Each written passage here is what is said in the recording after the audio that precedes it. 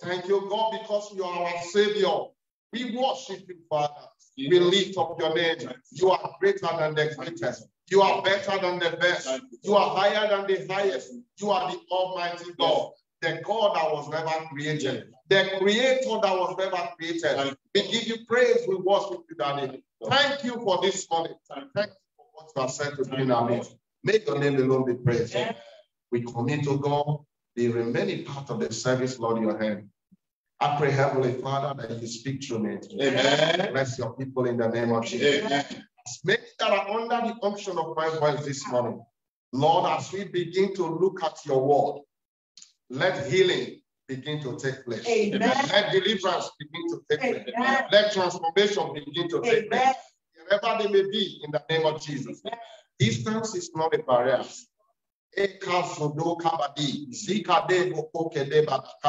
Daddy, I pray, Heavenly Father, as we open your word this morning, as we read through the scriptures, Lord, as we as we as we talk about you, let miracles begin to happen. Amen. Let your angels be dispatched, Lord. Daddy, to bring comfort to your people. In the mighty name of Jesus. Thank you, King of Glory. May your name alone be praised. In Jesus' mighty name, we have prayed. Amen. Hallelujah.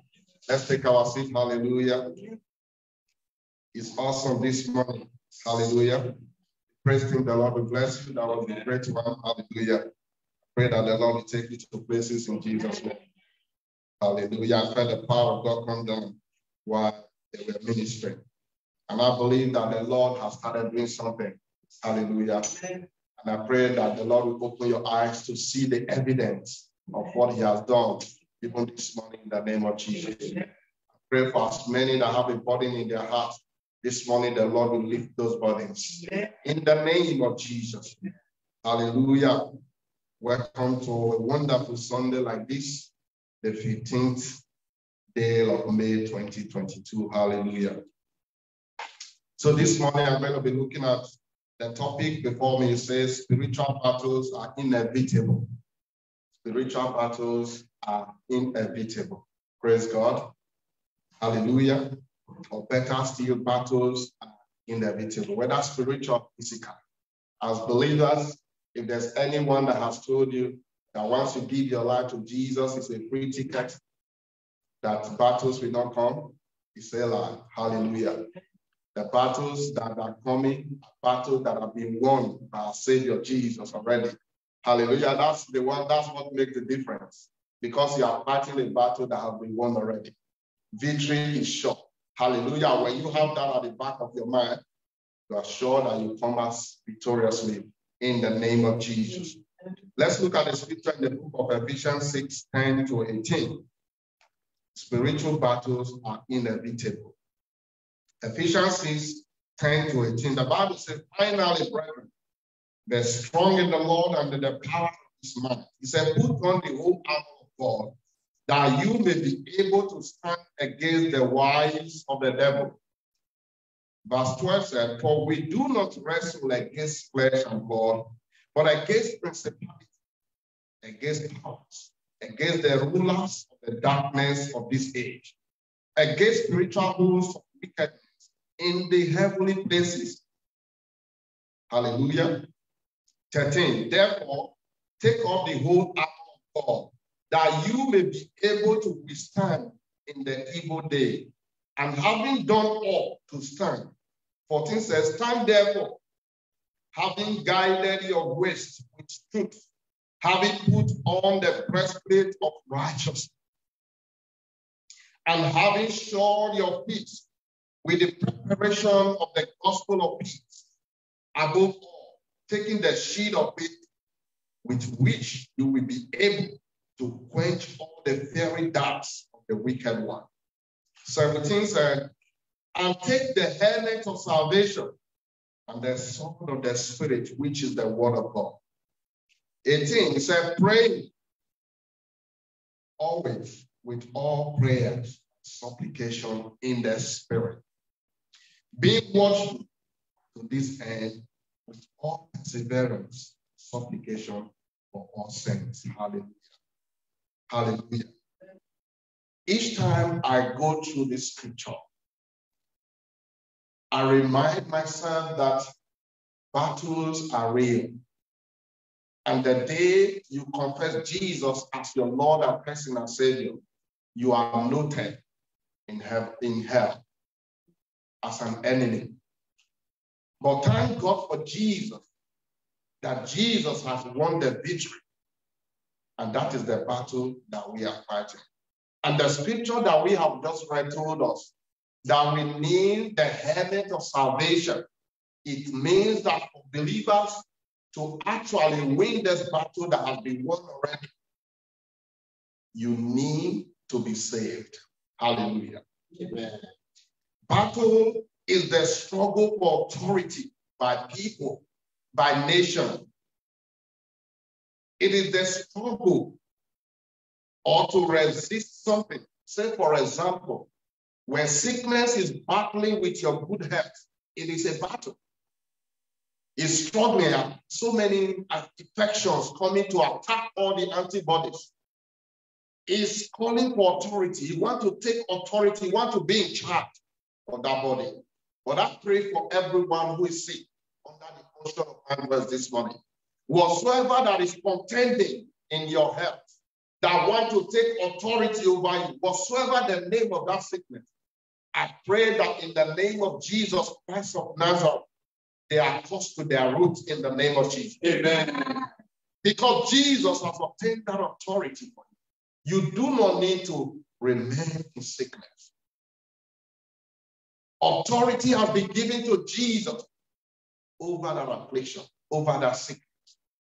Hallelujah. Spiritual battles, therefore, is the spiritual struggle of authority by spiritual powers in heavenly places. We read that in Ephesians 6, verse 12. He said, We wrestle not against flesh and blood, but against principalities and against powers, against rulers of darkness in heavenly places. These are spiritual battles. The devil is not happy that you have left the camp of the enemy. Because that is where you were before you gave your life to Jesus. Praise God. You used to work for the devil. You used to commit sin, all manner of sin, fornication, adultery, stealing, lies, backbiting, unforgiveness, maliciousness, greed, and all manner of evil, embezzlement of God, murder, all manner of evil. But now you have become, you have seen the light of God. You think that the devil will be happy? No. He will look for everything to frustrate your efforts and want to bring you back. Hallelujah. Some part of the world, some people work in, I don't want to mention it, they work in a certain organization.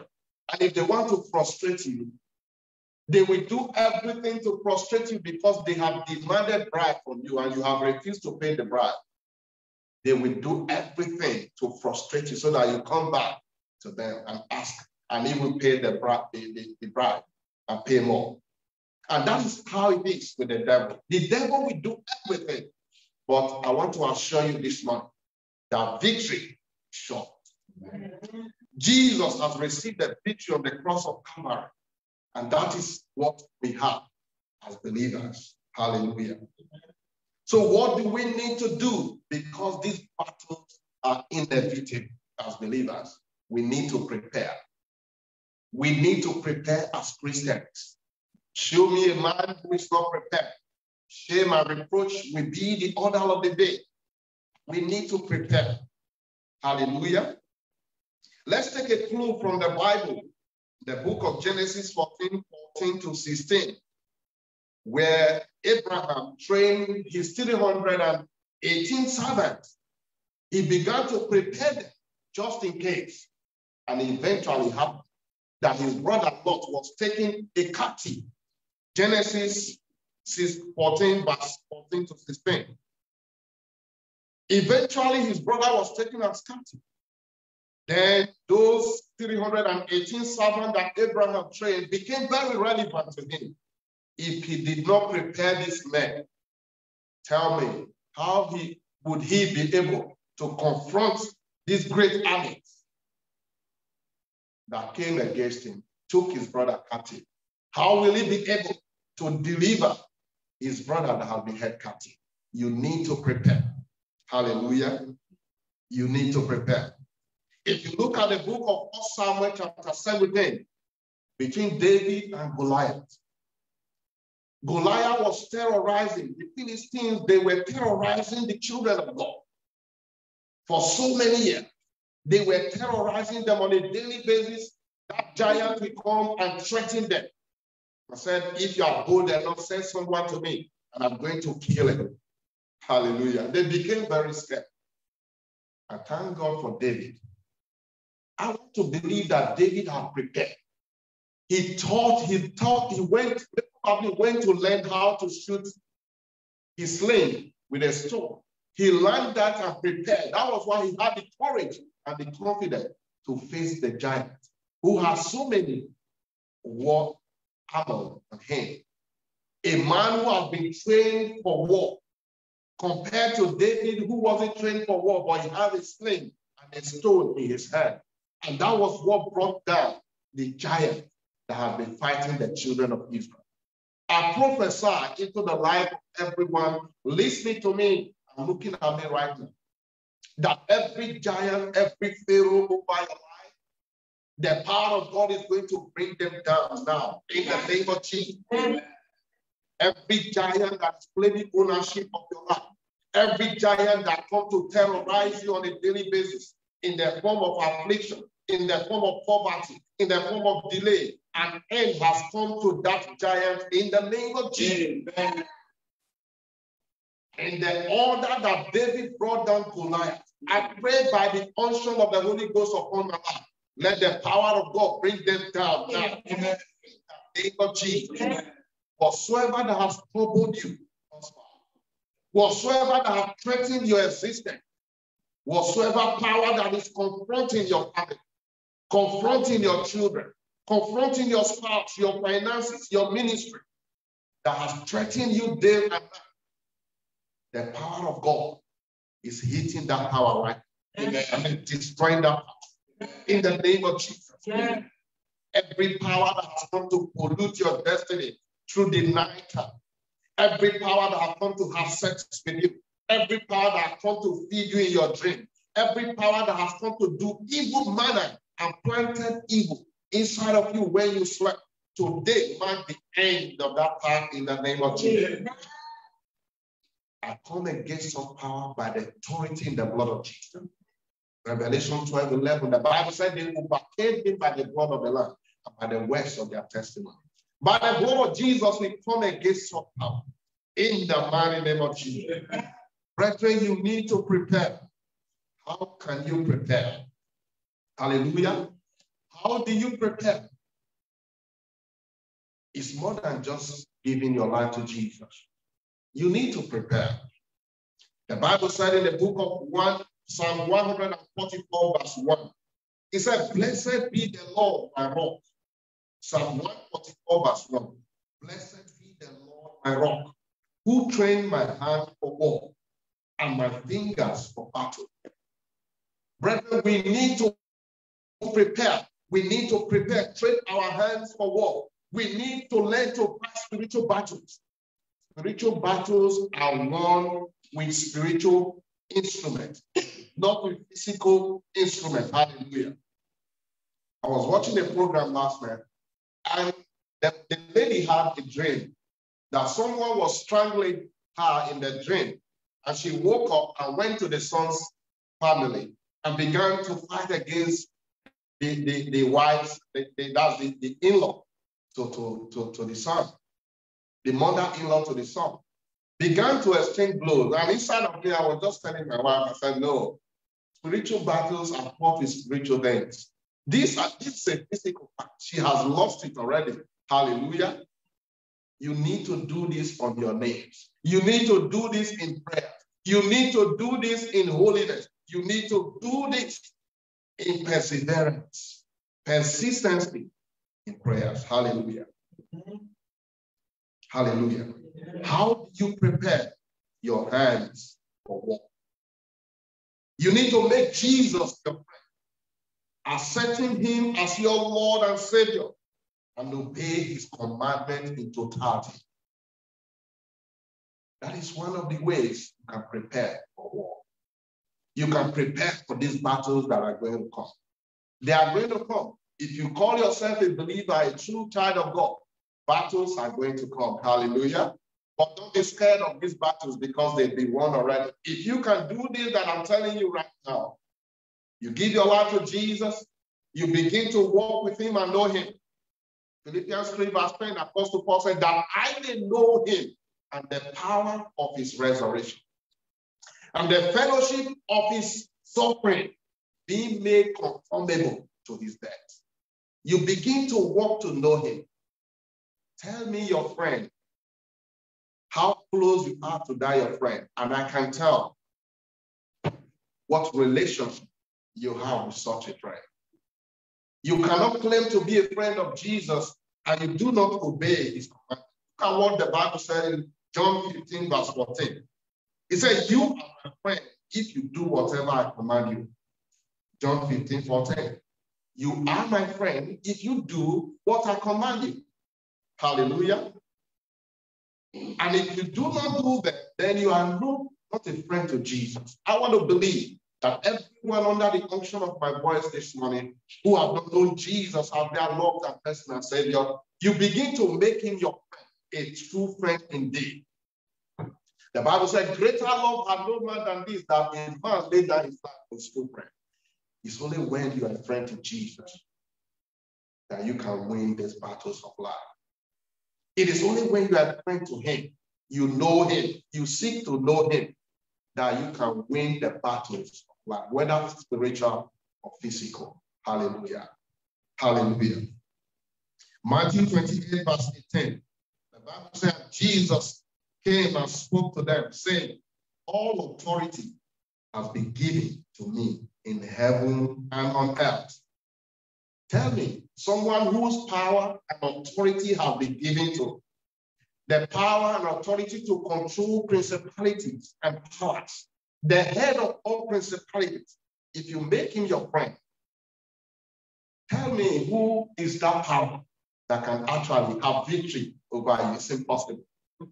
I remember I was watching the program some, some few weeks ago, and I saw this girl was jumping up because the boyfriend said to, to her, I'm going to join court. And Another friend was asking her, why did, why did you do that? I said, I need protection. Hallelujah. And I was like, if this is the reason you are doing this, we have a God who has more authority, who can give you more protection. Hallelujah. And that is whom you need to seek, not human. If you put your trust in man, you will fail. If you make Jesus your friend and go close to him and do his bidding, there is no power because all authority they are under him. There is no true, no occultic power, no demonic power, no witchcraft coven will be able to triumph over you. They may try, but each time they call your name, the fire of God is going to speak. Hallelujah. Hallelujah. I want to declare over everyone under the function of my God that in every coven where you have been held back, every spiritual coven where you have been held back, every demonic influence, sickness that wrought your life, your destiny, that of the spouse of your children, today an end has come to that affliction. In the of Jesus. Because you will make Jesus your friend, who is the head of all principalities. Hallelujah. No power can hold you bound anymore. Colossians 2, verse 10, the Bible says, and you are complete in him, who is the head of all principalities and power.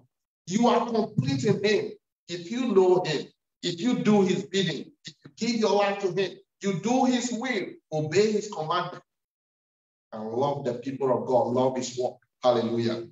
Hallelujah.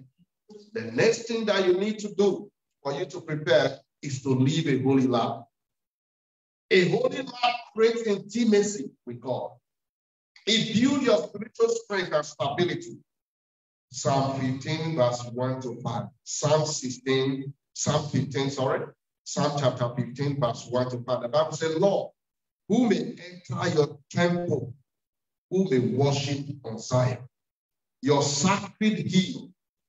Those who obey God in everything always do what is right. I'm reading from the Good News Translation.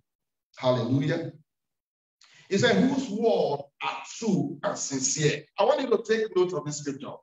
Whose words are true and sincere. It means those that do not say lies. And who do not slander others. They do not wrong, they do no wrong to their friends, nor spread rumors about their neighbor. They despise those who God rejects but honor those who obey the Lord.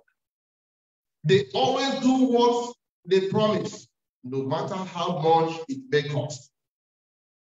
They make loans without having interest and cannot be brought to testify against the innocent. Whoever does these things will always be secure. Hallelujah. Hallelujah. So you must live a holy life. You must live a holy life and create that intimacy with your maker. That is another way we can prepare for this battle.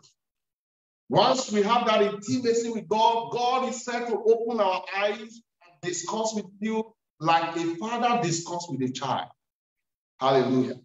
And you begin to ask God some questions, and God will respond to you because you are a child to Him. You are a true son.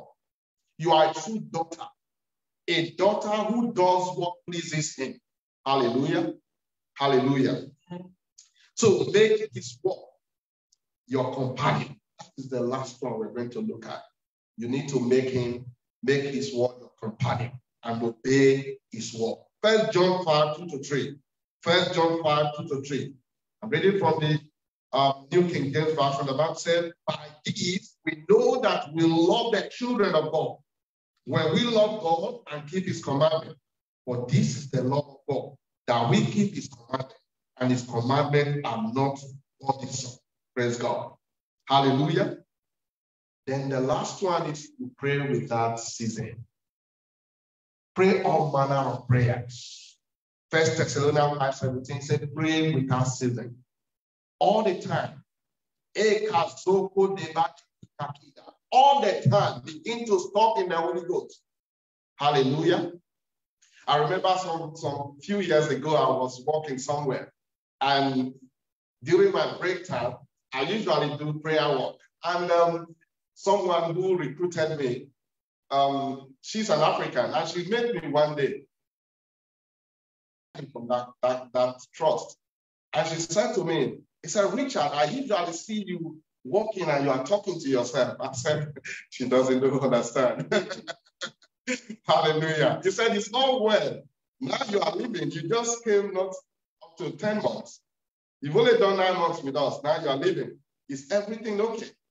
She thought something is wrong with me. Hallelujah. Pray at all times. Make prayer a part of you. And you see God begin to walk with you. Hallelujah. And God will begin to take away all of these battles and make way for you. If there's anyone God has not taken away, he has a reason. He wants to prepare that testimony and remove all those that would have rebelled against the testimony. Hallelujah. I pray this morning the Lord is going to fight our battles in the name of Jesus. I want us to be on our feet we're going to pray. But before you do that, I want to just mention Two things that happen when you do not prepare. You will suffer defeat and failure. I pray we will not suffer defeat. Shame and reproach will be evidence. The devil will triumph. Death, physical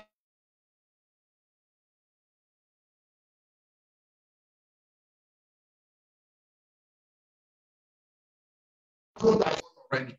Every battle confronting my life Put an end to it today by your mercy. Lord, arise your mercy. Put an end to every challenge, every battle that I'm going through, Lord, today. Put an end to it, Lord. In the name of Jesus, Lord, put an end to it today. Put an end to it today. Father, I pray for your children as they are preparing every battle that from their life as you give them the grace, Lord, to prepare. Ezoko.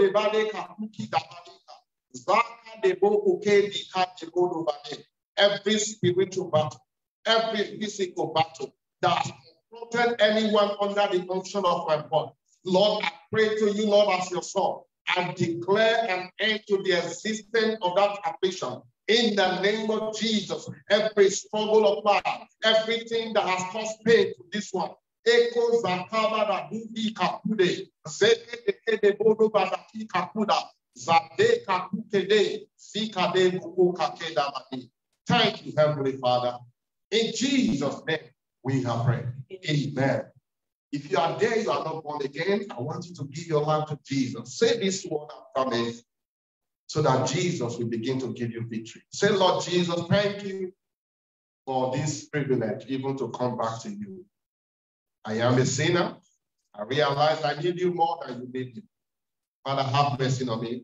Forgive my sin. Give me the power to sin no more. Write my name in the book of life. Delete my name from the book of hell.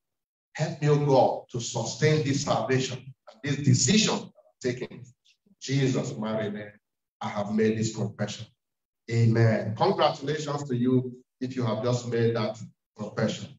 Peradventure, you live in London environment, I want to invite you to join us. The details of our church will be on the screen. Join us and fellowship with us. And as you do so, come and see what God is doing in our midst. Invite someone to come with you. As you do so, the Lord bless you richly. In Jesus' mighty name. I want you to raise up your offering wherever you may be. For those of you that are here, Father, I cover those offerings in the pool of the blood of Jesus. I pray, Heavenly Father, you accept them acceptable God those that are given in the name of Jesus. Even the ones that have not to give, I pray, Lord Jesus, you cause favor to shine upon them. You will provide for them in the name of Jesus. Wherever they have labored us before, Daddy, let an end come to that struggle. For those that are giving their life, their tithes, Lord, I pray, Heavenly Father, increase the 90% in their hands. In the name of Jesus, for those that have not to give, Lord, provide a job for them. Provide something for them to do so that they can give to the gospel and give to your work in Jesus' name. And I pray for us as a church, the grace to be able to use this, oh God, for the good propagation of your word here. Give unto us in the name of Jesus. Thank you, Ancient of. For in Jesus' name we have prayed. Amen. If you are blessed this morning, for those of you that are online, send us email. Hallelujah. Send us a text. You can call us, and uh, we are happy. Send us a prayer request, and we'll be praying for you. The Lord lead us. We will come to share testimony. Let's share the grace, the grace of our Lord Jesus Christ, the love of God, the fellowship of the Holy Spirit, be with us now and forevermore. Amen. Surely goodness and mercy is following me all the days of my life. I am dwelling in the presence of the Lord forever. Amen. Hallelujah. God bless you. I see you again on Thursday. God willing. Have a wonderful week ahead of you. Amen.